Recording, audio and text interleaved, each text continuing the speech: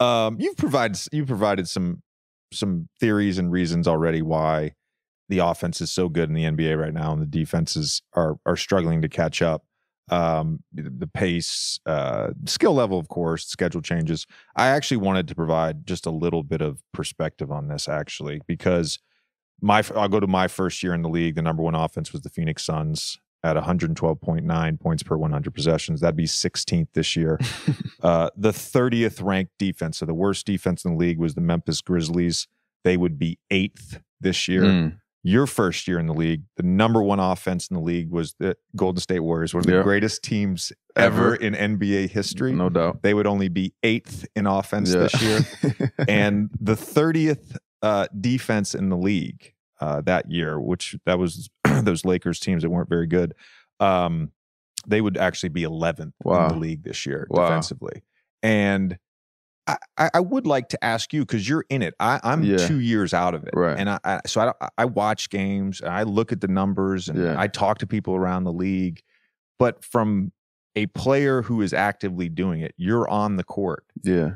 Is it the spacing is it skill level is it the is it the rule changes the referees like Yeah. what is contributing to this I think it's a little bit of everything, but I think what I've seen, especially like in the last three years, was that I think, and I'm going to give ourselves a lot of credit here because I think we won a championship that was like outside of the natural flow of the NBA. You know, you got a disgruntled star that comes to a market that is not really uh in the NBA's plans of where they see things and we win a chip. You got Nick, who is probably the most unconventional coach that we have in the NBA. And I think that it opened people's eyes. It's such a copycat league that some of that creativeness got trickled down throughout the NBA. And I think that a lot of people are looking night to night and and game to game.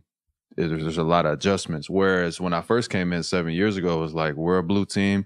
We're going to down you on the sides. We're going to play drop all year long. And then maybe we'll make adjustments in the playoffs. Whereas like you're seeing more adjustments and more creativity on a night to night basis than ever before. And I think the game is, if it's going up, if the game is going to continue to grow, you know, that's just natural that there's going to be more adjustments and more people trying to find ways to be successful. And, and you're seeing that. Like now, the Mavericks have an adjustment for when you just want to double Luka the whole game. You know, they practice, they've been practicing it for two three years, so they're gonna be better at it. That's just one example. yeah i, I think some of it too I, I think the analytics have played a role of course in the sense of the value of shots Mhm. historically the value of a corner three versus a contested mid-range mid-range shooter from a non-elite Yep. mid-range guy like kevin durant right we can we can say all that and offenses can say all right we we want to play this way um but i i remember my first year in philly that was the first time so this was like shit man my 12th year Yeah.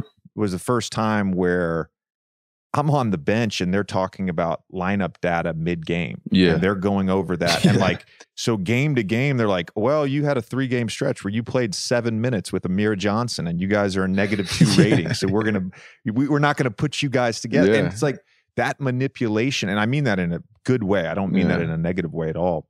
Um, I, I think it's like teams are now optimizing the best lineups as much as they possibly can at all times. No, one one hundred percent, and we're in that era. You know, we're in the peak of the analytics era. Like, there's new stats and new things every day and um, every week. And like you said, it's and all everybody has access to it. It's not like it used to be where there was an office where there was a couple analytics guys in there doing all the numbers. It's like no, now you might have a coach who was came from that office that's on the bench that's got an iPad during the game or whatever the case may be. Like it's a big part of the league and I think the game is is kind of adjusting to that. And the players have more access to it too, you know what I mean? Like when I first came in, it was the beginning of like don't take twos if you're a role player.